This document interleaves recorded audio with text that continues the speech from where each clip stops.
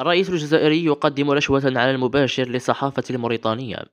ظهر الرئيس الجزائري وهو يعطي أوامره لأحد المسؤولين الجزائريين لبناء دار الصحافة في موريتانيا وذلك خلال تدشينه رفقة الرئيس الموريتاني محمد الغزواني معبرا حدوديا بين الجزائر وموريتانيا بمنطقة تندوف الخميس الماضي.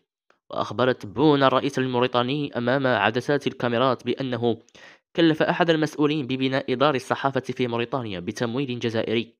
وهو ما ترجمته بعض المنابر الموريتانية المستقلة على أنه رشوة مفضوحة من بلاد الكبرانات لإخراس الأصوات الحرة في موريتانيا. ويأتي هذا المستجد بعدما هاجمت الجزائر الصحافة الموريتانية عبر سفاراتها في نواكشوط خلال وقت سابق متهمة إياها بخدمة أجندات أجنبية لبلد معروف بعدائه للجزائر قصد مضايقة التعاون الجزائري الموريتاني.